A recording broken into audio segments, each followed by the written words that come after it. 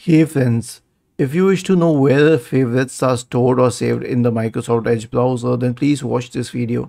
Now, one of the main reasons behind this question is that it's called favorites in Microsoft Edge and bookmark elsewhere. So people are wondering where are the bookmarks? Where are the bookmarks? You click on this, you don't find bookmarks.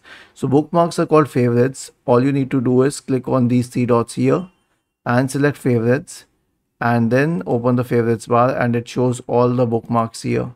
But if you wish to check that on your browser then i have uh, a script for you. You have to run it in the run window and i will paste it in the description section of the video so that you could directly copy paste it. So press windows plus r and paste the script here. Click on ok. And then scroll down. Scroll down. There is an option called bookmarks. It's a file now this file uh, can be executed either in Firefox where that will redirect you to the same page or you can open it with notepad and you can check the data here okay? Or you can open it with Microsoft Word and you can also check the data here in a better manner. Every time you see this uh, opening bracket it mentions a new bookmark and it mentions the date that it was added and the details of that bookmark okay for example the geek page.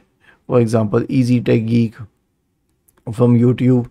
So uh, you can check more details about it. Was this helpful? If yes then please subscribe to the channel.